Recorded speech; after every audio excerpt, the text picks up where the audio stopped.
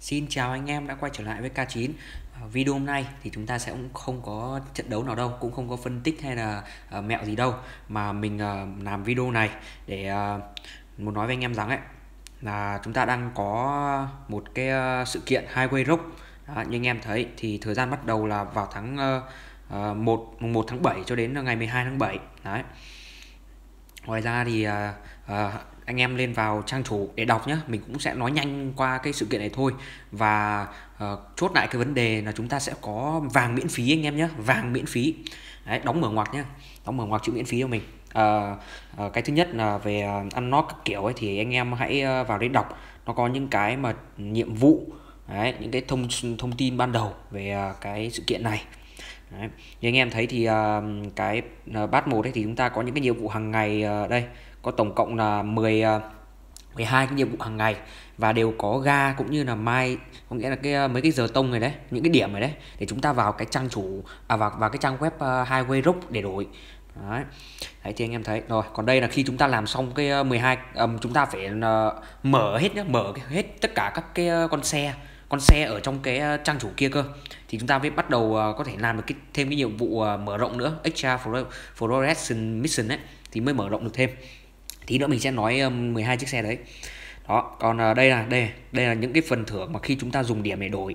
Đấy anh em thấy có thể rất là nhiều như là uh, vật phẩm này đề can trang trí này rồi thì thiết bị này uh, slot gara rồi uh, trợ cấp các kiểu. Nhưng mà tập trung cho mình là cái camo camo 3D nhá. Mấy camo 2D thì anh em thích thì chọn. Đấy tập trung cho mình ba cái camo 3D của RSM này E75TS và Badger nha anh em nhé đó ba cái camo này ấy, nó sẽ giúp cho mình có ờ, đền bù gun nhá. À, với camo đầu tiên là RHM thì chúng ta có đền bù gun là 2.500 gun nếu anh à, với E75 TS thì chúng ta có à, 4.000 và với bát dơ thì là 5.000 nhưng mà bát dơ camo bát dơ thì chắc chắn chả ai có ban đầu rồi anh em ạ. Đấy bởi vì à, mới rất là mới mà. Camo bát dơ mới RHM thì có thể lấy được ở trong cái nhiệm vụ 7 ngày của mấy mấy tháng trước. Còn E75 thì anh em có thể là mua trong shop khoảng mấy đợt nó bán ấy đấy còn đây thì à, là mấy cái chọn đội thôi nó cũng không quan trọng lắm cũng không quan trọng lắm thôi anh em ạ ừ. Tiếp theo là về à, trang chủ à về về cái trang web mà chúng ta đổi điểm nhá. Thì đây anh em thấy đây, trong đây có tổng cộng là 12 chiếc xe. Và khi uh, mỗi chiếc xe nó sẽ có một cái nhiệm vụ khác nhau, từ dễ cho đến khó, easy ride là dễ, còn Aurora là uh, trung bình. Đây như anh em thấy, đây là dễ thì nhiệm vụ rất là dễ anh em có thể đọc là ở top 10 uh, gì này, top 10 kinh nghiệm đây này. Đấy, và nó cũng dễ dàng thôi. Còn uh, outlaw này outlaw thì là trung bình là được ờ, uh, 10 điểm. Đấy là được 10 điểm. Còn uh, full gen thì là được 15 điểm là cao. Đấy. đấy khi anh em làm xong một cái nhiệm vụ thì nó sẽ hiện hiện hẳn một cái cái cái con xe lên và chúng ta sẽ chọn nhiệm vụ khác để làm anh em nhé đấy.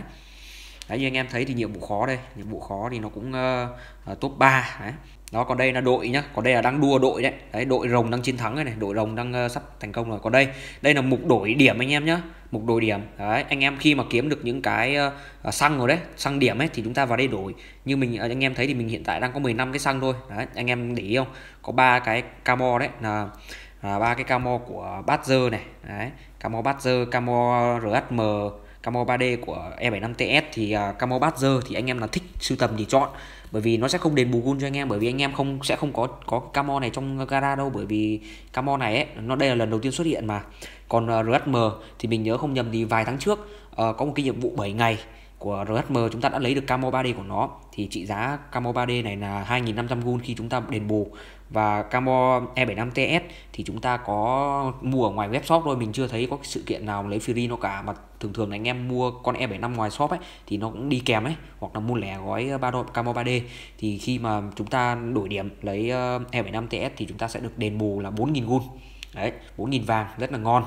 Uh, tổng nhá tổng tất cả điểm anh em có thể lấy được ở cái sự kiện này mà làm chăm chỉ làm rất là đẹp làm nhanh gọn lẹ thì tổng cộng là 360 uh, ờ, điểm của cái uh, tiến trình uh, unlock và 360 điểm của tiến trình mở rộng tổng cộng là 720 điểm. Có nghĩa là anh em đổi được hai camo 3D và thêm 360 ờ, điểm ờ, điểm đổi nữa là từ ờ, gói mua hàng ngoài bên bên ngoài ấy, bên ngoài web shop ấy thì anh em nào có tiền thì mua thôi nhưng mà theo mình thì anh em chơi free thì uh, cố gắng cày cuốc lấy 720 điểm để đổi lấy camo 3D của RHM và camo 3D của E75TS đó uh, tất nhiên là anh em phải có sẵn hai camo này trong gara thì mới được đền bù còn nếu không thì chúng ta sẽ nhận được camo thôi ok? Đó. cảm ơn anh em đã theo dõi video này. Ờ, chúc anh em nào đã có sẵn các các camo 3D ờ, này trong gara thì ờ, đổi đủ điểm đổi thì sẽ được đền bù gold đấy. Đó. mong anh em có thể tận dụng những cái trích này. Và mình cũng đã hỏi Go Gaming mãi mới trả lời đấy. Uh, bên GM mãi mới nhắn tin lại về cho mình. Nên là mong anh em vui vẻ nhé chơi game vui vẻ nhá. Ok bye bye.